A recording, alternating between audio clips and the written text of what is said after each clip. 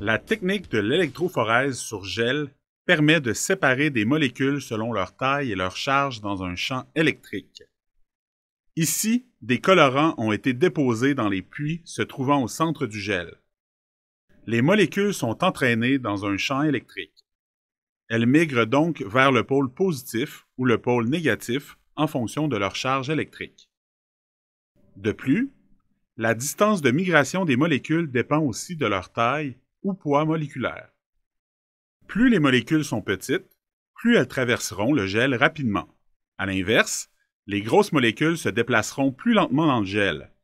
Ainsi, on les retrouvera plus près des puits que les petites molécules. L'électrophorèse est une technique préalable à de multiples applications, notamment pour vérifier la présence et la qualité d'un extrait d'ADN, pour identifier des fragments d'ADN découpés par des enzymes, pour identifier un gène ou pour établir des empreintes génétiques. Nous allons réaliser une électrophorèse à partir de colorants afin de bien visualiser les principes de cette technique. Voici un gel d'agarose, et au centre, on y retrouve la série de cavités que l'on nomme puits. Nous ferons migrer des colorants de taille connue sur le gel, mais également des colorants de taille inconnue. Il peut sembler difficile de remplir un puits, mais il faut y aller délicatement et s'assurer que l'embout de la pipette est bien à l'intérieur du puits. Chaque colorant est déposé dans un puits différent.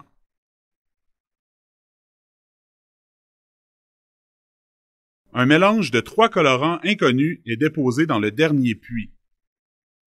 Lorsque tous les puits sont chargés, le gel est délicatement déposé dans la chambre d'électrophorèse. Assurez-vous que les électrodes soient correctement reliées au bloc d'alimentation. Allumez le bloc d'alimentation afin de produire le champ électrique qui entraînera le déplacement des molécules dans le gel. Assurez-vous qu'il y ait formation de bulles d'air et observez périodiquement la migration des colorants. Lorsque la migration des colorants dans le gel est terminée, éteignez le bloc d'alimentation électrique. Retirez le support contenant le gel de la chambre d'électrophorèse et placez-le sur un papier absorbant.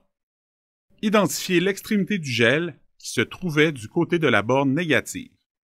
À l'aide d'une règle, mesurez la distance de migration des colorants marqueurs et notez le sens de la migration.